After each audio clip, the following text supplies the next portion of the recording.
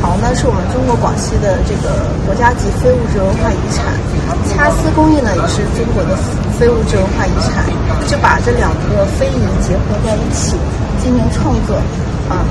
加上融合我们中国的传统元素进行结合起来，带来一种就是比较有冲击力的视觉效果，啊，这个在国内呢还是比较。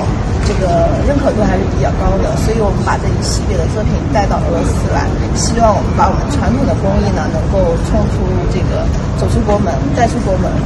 呃，能够在这个俄罗斯这个舞台上呢，呃，展露一下头角。